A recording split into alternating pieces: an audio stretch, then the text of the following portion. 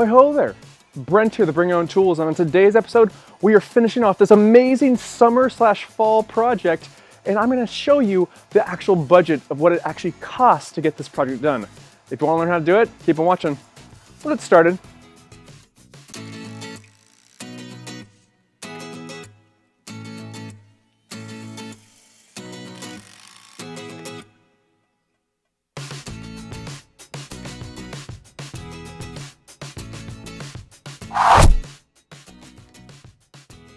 This backyard renovation has been truly one of a kind, and I've shown you the entire process from start to finish, and I actually just made a playlist for this entire backyard renovation. So if you want to see any of the things you might have missed in the past, you're easily able to find it in chronological order.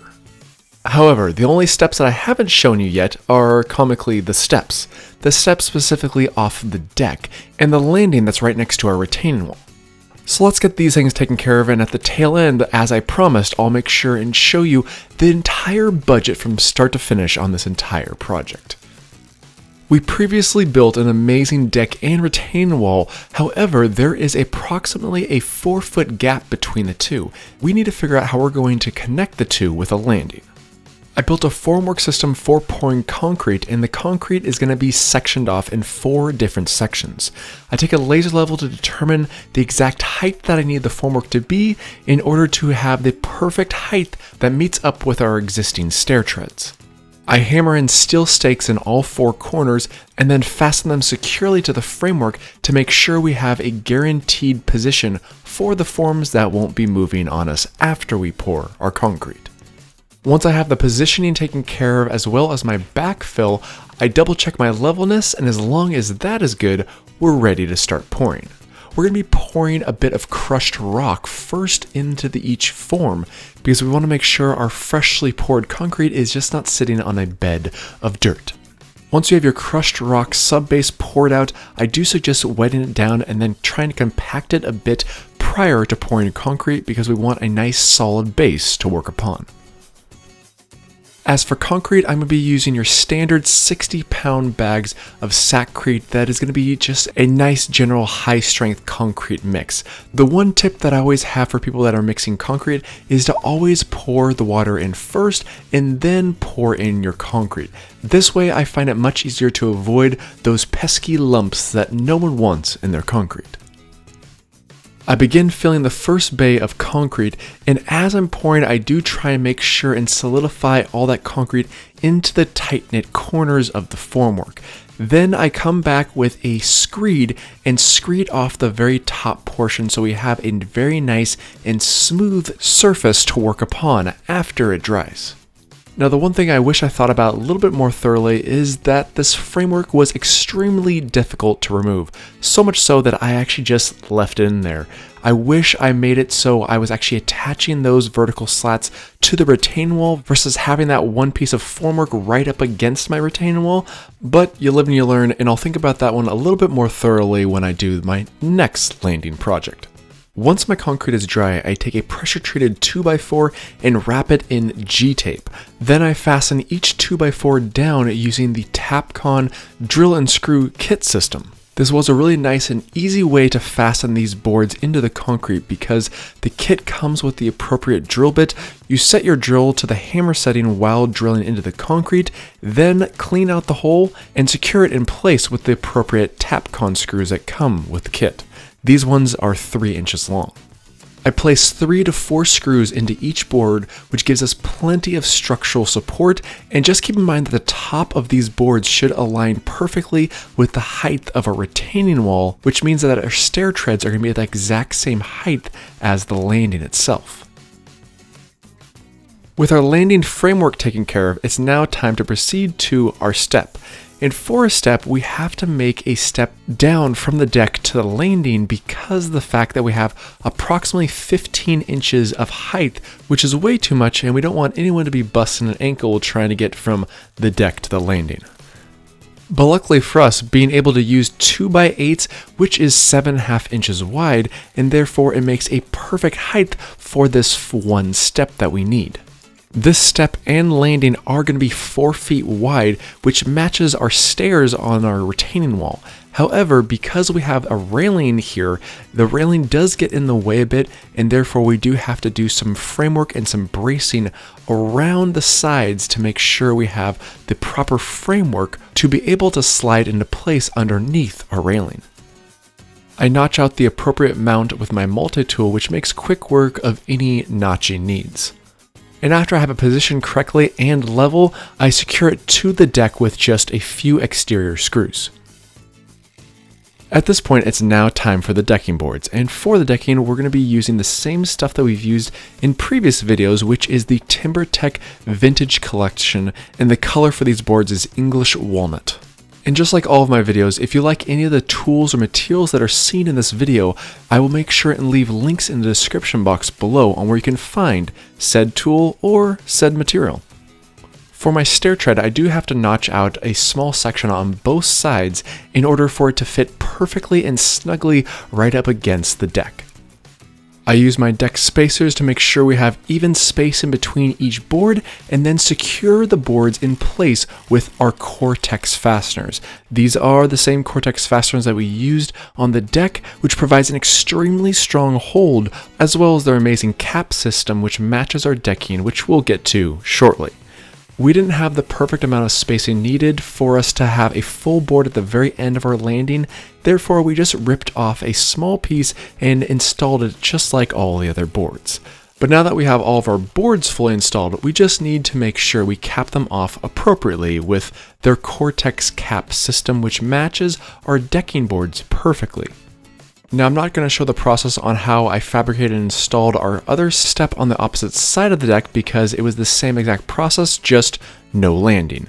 So keep that in mind, and at this point, all we have to do is sit back, relax, and watch others install turf. Yep, one project that I didn't have to take on because I already have a turf video on my channel. So if you are interested in learning how to install turf properly, then make sure and check out the link above. But guess what? Now that we have our landing taken care of and the turf in, we are done.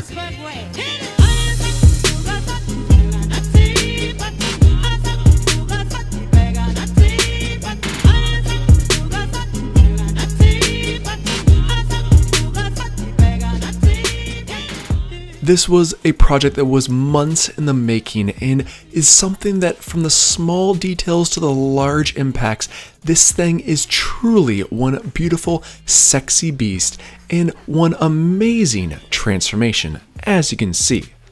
A huge thank you goes out to all the sponsors that were part of this project, whether it was ViewRail, TimberTech, Power Pro, Georgia Boot, and so forth. They were some amazing players that helped us along the way on this entire project, and I'm truly proud to be a part of a project that will bring so much joy and happiness to this family. But I know what you're asking yourself what did all this cost? Well, let's take a look. That was a busy summer slash fall project, and as you can see, it was an amazing transformation, but there was a lot of time and energy involved with this project. With that being said, I had copious amounts of people asking me what's the cost and the estimate for all of this work. And I figured on this specific project, I'll actually share that with top secret pricing associated with BYOT. Now I just have to put in a little password. I have to put a little fingerprint action as well as retina scan. Very official. Now I'm going to go into detail as to where the cost is associated based upon the materials and labor for each portion. The first thing is the deck. Now the deck came in at a total cost of 17,200 $58.26. Yeah, that's a lot of money just for the deck itself. Now you have to consider the fact that the materials for just the pressure treated and the TimberTech decking material was extremely expensive, especially during the summer months. And that came in at 70% of the overall cost there. The labor was only 29% of that specific cost. Keep that in mind. And the retaining wall, after we got done with the deck, the retaining wall came in at $8,893.02. The materials alone for that was 65% of the overall, and the labor portion was closer to 35%. Again, materials were quite expensive on that portion, but it was actually a lot cheaper than doing it via stone, so also keep that in mind. The railing. The beautiful railing around our gorgeous deck came in at $19,827.54. Now, I have to tell you that that railing was expensive because the railing itself came in at 80 over 88% of the overall cost there. And ViewRail is a gorgeous system. It's a high quality system and it's made here in the United States. So I always love supporting those type of companies. But keep in mind that is an expensive railing, which also included the railing for the stairwell down. So just know that you're gonna get a very high quality product, but with a high quality product comes at a price. The stairs. The stairs that also include the landing and the steps off the deck came in at $3,946 and 20, excuse me, and 92 cents. Now this was the only one where the materials was actually less than the labor. The materials was closer to 42% and the labor came in at closer to 58%. But keep in mind that the materials for this was pretty simple, just some concrete, some framing, and some decking boards. But the labor to actually make sure that all those steps were perfect and aligned properly, that took a lot of time and energy to do. So keep that in mind on that particular section. And finally, the section that I personally actually didn't do, but I did get pricing for was the turf the stone walkway, as well as some of the more landscaping aspects of the backyard, came in at around $16,000. Now, the material for that was closer to a 63%, where the labor came in at more towards 37% for that entire area.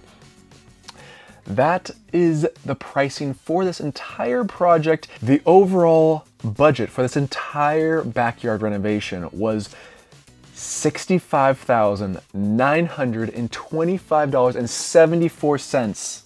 That is the price for this project. Yeah, that was expensive, but keep in mind that we are also in an area where Seattle, greater Seattle area, you can add that to your home and guess what? You'll get that back. So we've completely transformed that backyard and therefore their house has increased in value probably at least $65,000 worth, especially in the area that we live in.